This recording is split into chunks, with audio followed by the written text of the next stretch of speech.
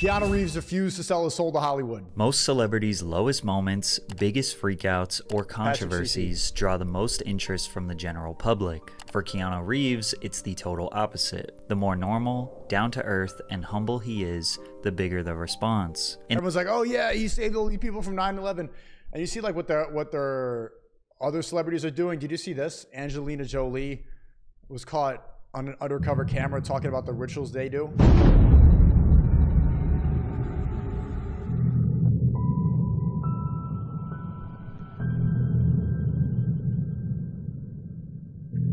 Angelina Jolie, 23 time, describes the ritual she performed earlier that year to join the Order of the Illuminati. The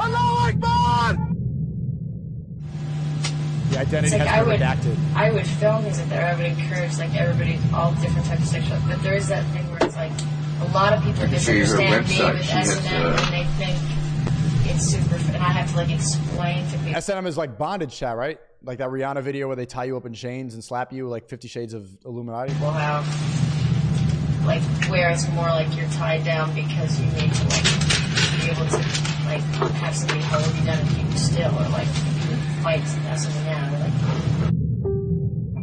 Angelina is heard describing the gruesome ritual celebrities perform to join the Illuminati and claims is not the same as S&M, consensual sexual torture. Although it's often compared to when there's there on the pentagram with the goat. It's the Baphomet. It's disgusting every time. But people see this stuff and still think it's fine. Did you see that new Doja Cat video where they they actually like their their music videos? It used to be like subtle and openly they just worship Satan in every single piece of media they put out.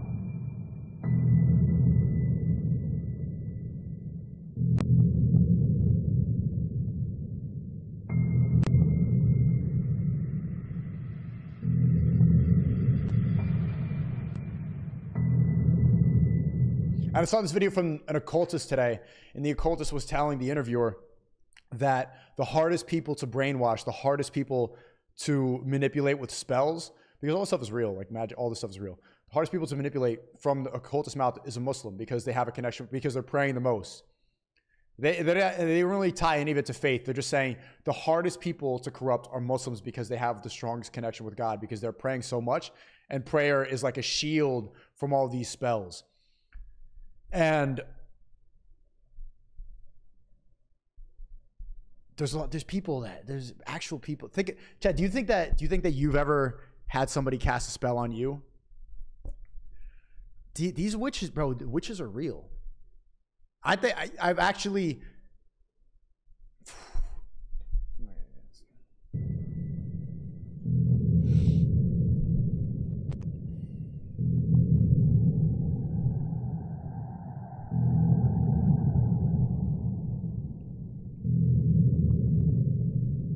Course, they recruit. She'd be encour- encouraging other celebrities to join the Illuminati, which is other members hold to do. It's like a pyramid scheme of torture. able to heal once you're beaten like or something. It's like it comes from a real, real place of like comes from a real place. Hell, like all these. Chat said your mom casted a spell on my thing, bro. What the fuck? A shaman ritual. Someone did it on my grandma. She died at 20. May God rest her soul. Why would someone cast a spell on your grandma?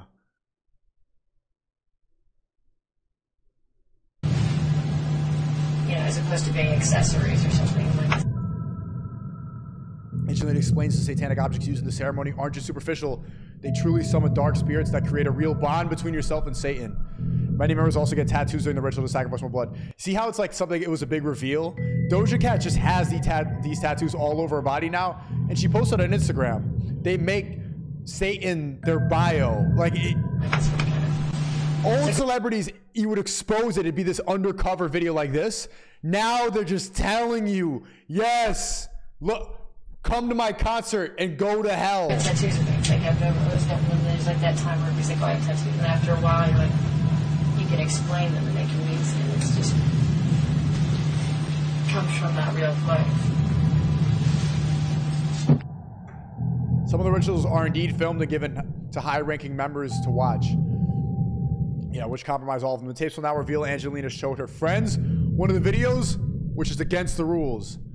Bro, she freaky as hell, man. Yeah, I don't know. I only saw that film she right over that night.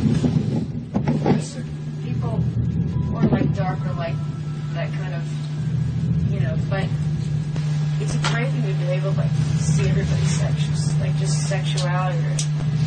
But it's so weird when you just. Yeah, I had most amazing compromising pictures of people. Bruh, she has compromising pictures of people, but that's Illuminati's one big black magic cult. In this 2011 video that has 16 million views, a woman backed her Mercedes SUV. Black magic just destroyed this video. Most celebrities respect shows in the way they stand back and give him space, and meanwhile he's smiling, talking, reaching out to them. He's doing nothing to push them away. In this 2015 video, Keanu walks through an airport in a hurry while stopping to take some photos with fans. He is flying commercial and has no bodyguards despite him being worth $350 million, 7.7 million views. Here's what Joe Rogan had to say about Keanu. That guy goes to, sits on the subway by himself.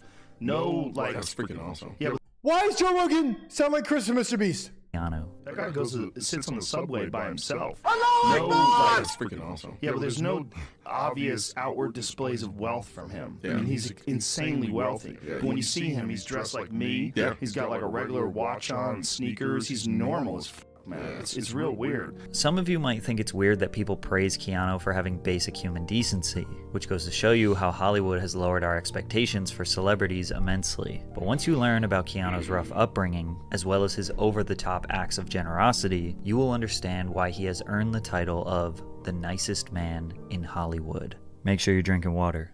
Mm. Keanu's father, Samuel Reeves, struggled with substance abuse don't tell me what to do, Patrick CC. I don't want to drink water. You know? was in and out of prison for selling heroin until he ultimately abandoned his family when Keanu was just three years old, forcing his mother, Patricia, left to raise two children on her own, working tirelessly as a costume designer. Patricia married and divorced four different men during Keanu's upbringing. Bruh. According to Keanu's sister, the revolving door of men had a substantial impact on their childhood.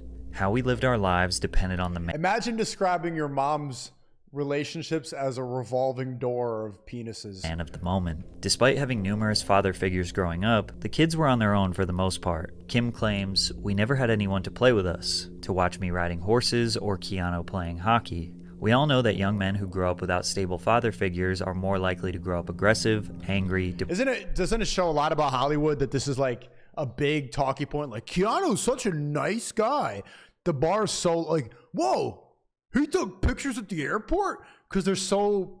So so many of them are pretentious satanic assholes that when one dude is like, yeah, I'm just like gonna wear a hoodie, everyone's like, whoa, he was in a movie and he wears t-shirts just like me. depressed and often repeat the cycle of abandonment. Keanu was set up for failure from the very beginning.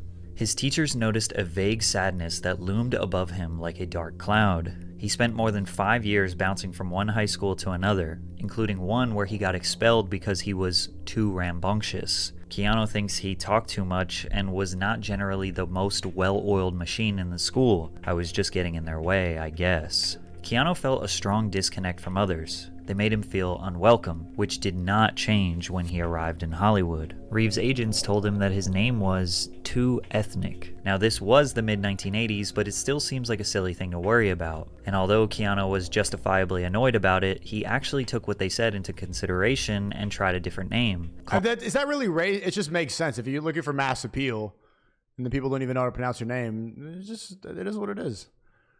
calling himself Casey or Casey Reeves. But whenever he had auditions and they called Casey, he wouldn't respond. Most people would not even consider changing their name, let alone actually giving it a shot. Why does he look like if Leafy was an actor? Like if if Leafy was in Hollywood? Keanu proved early on he was open minded and easy to work with. He went back to using his real name and it had zero negative impact on his career. What did have an impact on his career were some of the roles he landed early on. The foundation for Hollywood's nice guy was built on him being casted as somewhat of a teen heartthrob. Young and handsome male actors often accrue fan bases of women who romanticize them as the perfect guy. First, he starred in NBC's Babes in Toyland, Act of Vengeance, and Brotherhood of Justice, as well as making his first motion picture appearances in the sports drama Youngblood and the low budget romantic drama Flying. But when he met casting director Carrie Frazier, everything changed. He walked in the door and I went, Oh my god, this is my guy. It was just because of the way he held his body. His shoes were untied, and what he was wearing looked like a young person growing into being a man. I was over the moon about him. His and then they fucked. and compromised each other on camera. Youth appeal earned him roles in dramas such as The Night Before, The Prince of Pennsylvania, and Permanent Record. But his big break came in 1989 with Bill and Ted's Excellent Adventure. Although the film received mixed reviews, it was a solid box office success, grossing 40 million against a 40 million for like a, a weed. Oh, dude, weed. Chow. This guy keeps making me think of Leafy. Like if I if where where's Leafy been? Where eh, is he still streaming? Where's Leafy at? $10 million budget. Reeves' portrayal as Ted Logan significantly boosted Keanu's Hollywood profile. Before getting the part, director Stephen Herek screened between 200 and 300 actors for the main roles, requesting that each actor try out for both leading roles. Keanu was among the first to audition, and Herek immediately set on casting him as Ted. When Keanu came in, he was one of the first. It was really kind of like, wow, He's Ted, and there was sort of a lovable goofiness to him. But Keanu wasn't just acting as a lovable good guy, that was really him. He proved that in 1991, where his act of kindness changed a man's career. In the adventure film My Own Private Idaho, Keanu co starred along River Phoenix as a street hustler. Before filming, director Gus Van Sant struggled conceptualizing actors for the two lead roles. He sent the script out to Keanu and River's agents expecting them to reject it. Reeves' agent was open to the project, however, Phoenix's agent stopped reading the screenplay halfway down the first page, adamantly declining. Van Sant convinced Keanu to personally deliver the script to River Phoenix at his home in Florida since they were friends. Keanu did the director a massive favor, and over the 1990 Christmas holiday, he rode his motorcycle from his family home in Canada to the Phoenix Family Ranch in Micanopy, Florida, roughly a 2100 kilometer or 1300 mile ride. After the long ride, River read the script and wanted the role that Keanu was casted as, but they convinced him to take the edgier role of the drug addicted hustler Mike, which he accepted. The craziest part is, River ended up getting way more praise than Keanu in this film. Phoenix won Best Actor. Didn't that guy get murked? Something happened. I mean, rest in peace. I don't want to say it, but he honors at the why the Joker's uh, Joaquin Phoenix's brother. Joaquin Phoenix's brother. How did he die, Chad? Venice Film Festival, the National Society of Film Critics, and the Independent Spirit Awards. Tragically, in 1993, following several days of binging on cocaine and heroin, ah, the good old Zherka method. 23 year old River Phoenix passed away outside Hollywood's Viper Room nightclub right in front of his brother. Okay, so he didn't get murked. He was just tweaking. He was. Christ is king! Sister Sorry, sorry. and girl. Hey! Don't do drugs. girlfriend. Keanu has rarely mentioned his close friendship with River over the years, opting to keep that part of his life private. But River's death still feels like a fresh wound to Keanu's heart even 30 years later. But if we're being honest, Keanu driving that motorcycle wasn't much of a sacrifice. That man loves to ride. Yo, why is his room like that, man? However, during the filming of The Devil's Advocate, he gave up something that 99% of other actors wouldn't money. The Devil's Advocate is a This dude is creeping me out. Wait, wait, wait. Look at Patrick. of something that 99% of other actors Ready, wouldn't money. What the fuck, bro, bro? Bomboka! You guys keep telling me to watch Jin caught on tape videos. This is one right here.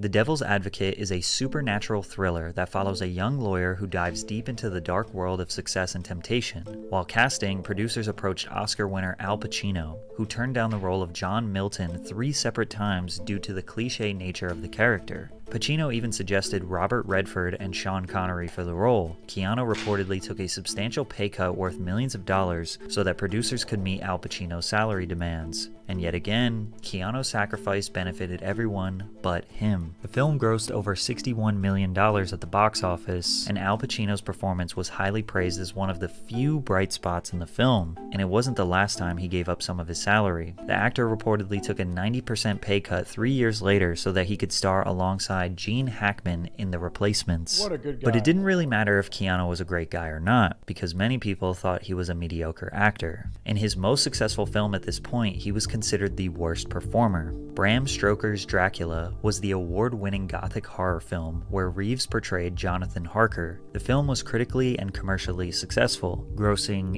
$82 million worldwide, surpassing Point Point Break as Keanu's highest grossing film. Although the film was a success, many critics disagreed with Keanu's casting and considered his performance weak. Total film writer Josh Winning said that Keanu's work spoiled the movie. He mentioned it in a 2011 list of 50 performances that ruined movies. Keanu's attempt at an English accent has been considered one of the worst accents in the history of recorded film. Yes, of course, sir. If I may inquire, what in fact happened to Mr. Renfield in Transylvania? Bruh, I could do better. Bruh. But it doesn't stop there. What exactly happened in Transylvania? In 1993, Keanu had a role in the Shakespearean based romantic comedy Much Ado About Nothing. Despite receiving positive reviews, Reeves' casting once again garnered criticism, and he would be nominated for Worst Supporting Actor at the Golden Raspberry Awards. After two more lackluster drama films, Keanu's career was on life support. Luckily for him, something big was right around the corner. Speed, an action classic whose premise revolves around a bus that is rigged by a terrorist to explode if its speed falls below 50 miles per hour. In 1993, executives were looking for an actor to portray the protagonist, Officer Jack Traven. They considered Tom Cruise, Tom Hanks, Wesley Snipes, and Woody Harrelson, but landed on Keanu. And again, he had to make some major sacrifices for this role. The director Jean de Bont didn't want the character to have long hair, so Keanu shaved his head. But then the studio executives got so upset over his shaved head that they demanded he wear a wig. But this was the director's vision, so they trusted him. However, there were more problems. de Bont didn't think Reeves looked strong enough. The thing with Keanu is that he looks very boyish. I didn't want him to be like a kid, and he loves to be like a kid. Keanu was yet again dedicated to completing a director's vision. He spent two months filling out his frame and getting in shape for the role. He was nervous in the beginning, then he got addicted to the adrenaline. This was only Keanu's second action film, but the hard work paid off big time. The summer of 1994 saw the release of Speed, which grossed $350 million on a $30 million budget. Wow, what a nice guy. Oh, money. Okay. Comedy night chat, yes or no? them for their hard work, Keanu generously gave each member of the film's stunt team Whoa! He gave away a multi-millionaire. Gave away a couple on ten bands. a brand new Harley Davidson Whoa, motorbike. a and no, motorbike? this wasn't the only time he ever gave gifts to cast members. Reeves gave his Basically, the bar is really low for Hollywood celebrities. You give away ten bands, you take home hundred mil. Oh, but he gave away more. All right. uh. John Wick Chapter 4 stunt team personalized Rolex Submariner watches to thank them for their hard work. The watches were Chat, worth all of you hate comedy night. Why do you guys hate comedy night? $10,000 each. He also took care of the Matrix Resurrection stunt team, booking them an all expenses paid trip to the premiere. As a token of his appreciation, Reeves took care of the private jet travel and hotel accommodations, premiere tickets, and even organized a special post premiere brunch for invitees, among other gifts. It was reported by multiple news outlets that Keanu donated 31.5 million, or 70% of his Matrix money, to cancer research. However, the story is not true. You spent all that money on cancer research and they still didn't find out what causes cancer. Like, bruh. uh, Keanu Reeves did not donate 70% of his salary than 42 million views. Just the idea of him riding the subway instead of some limousine or having a personalized driver NPCs are like, whoa, he rides public transportation. made people relate to the icon, let alone giving up his seat. Many photos of him with women went viral that point out his no touching policy. He was being coined a Whoa, he doesn't even touch women. He's like an incel dude like me. Respectful king because he refuses to rest his hand on women while taking photos with them, and he rather just floats it a few inches away from their back. Most cele- Is, is touching is touching women haram? Like, should I do that too? Celebrities' dark side or controversies drive the most engagement. For Keanu, it's the total opposite. Viral Keanu news is him giving to homeless people, Whoa, Keanu bent over on a homeless person. Keanu Reeves bent over on a crackhead. or spending time with them on the street, playing with puppies, showing a plush toy around China, or dropping genuine wisdom on us. What do you think happens when we die, Keanu Reeves? Tell me. What is normie content? How the fuck did people, the bots, laugh at this? Wisdom on us. What do you think happens when we die, Ah! Keanu Reeves? I know that That got a laugh. The ones who love us will miss us. With all the pain Keanu has experienced, combined with the massive success he's had in Hollywood, he chose to remain a kind hearted, humble man rather than a self righteous narcissist. Most celebrities sell their souls for fame and fortune. Keanu uses his fame and fortune to help others. And although it may seem like he is over celebrated, Satanist? for the smallest acts of kindness, Keanu Reeves has proved time and time again that he isn't a great guy by Hollywood standards, he is just a great human being. All right, bro. What a great guy. All right, shout out to Patrick CC.